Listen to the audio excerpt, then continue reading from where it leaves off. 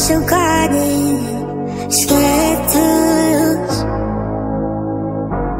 Every day a new excuse. Then you came in, batted the door down, you broke right through. A part of me let go of the person I was before. I, you